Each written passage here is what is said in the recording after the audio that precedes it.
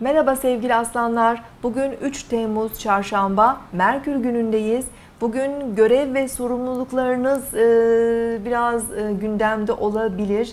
Özellikle günün ilk yarısında biraz yorulabilirsiniz, koşturmaca içerisinde olabilirsiniz.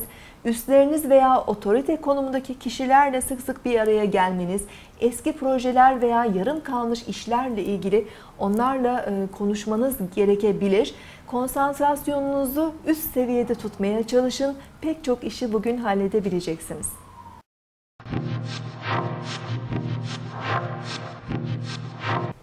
Burcunuzu dinlediniz.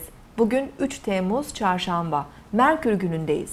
Ay gün boyu Boğa burcunda ilerleyecek. Kararlı, sabırlı, güvenli enerjiler verecek güne. Öğle saatlerinde Boğa burcundaki Ay ile Merkür arasında sekstil bir açı var. E, iletişimlerimizde destekleyici olacaktır. E, bugün e, gökyüzünün konumu şartların e, düne göre daha yumuşak ve ılımlı olduğunu gösteriyor. Daha e, pozitif enerjiler söz konusu.